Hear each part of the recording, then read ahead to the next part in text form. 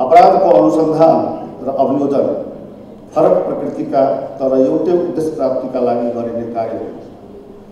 यी दुई कारण परस्पर अन्तर सम्बन्धित छन्। त्यसैले फौजदारी न्याय प्रशासनका प्रमुख अवयवका रूपमा रहेका अनुसन्धान गर्ने प्रहरी र अभियोजन गर्ने सरकारी वकिलहरूको सहकार र समन्वय अपरिहार्य हुन्छ। अपराध अनुसन्धानको जिम्मेवारी नेपाल प्रहरीको भएकोले अपराध अनुसन्धानको प्रारम्भ बिन्दुबाटै सही दिशामा लैजान सके मात्र यथार्थ निष्कर्ष अपेक्षा गर्न सकिन्छ। त्यसैले तपाईँ अनुसन्धानकर्ताहरूले दबाव तथा प्रभावमा नपरी स्वतन्त्र तरिकाले अनुसन्धान गर्नुहोस् भन्ने म आह्वान गर्न चाहन्छु।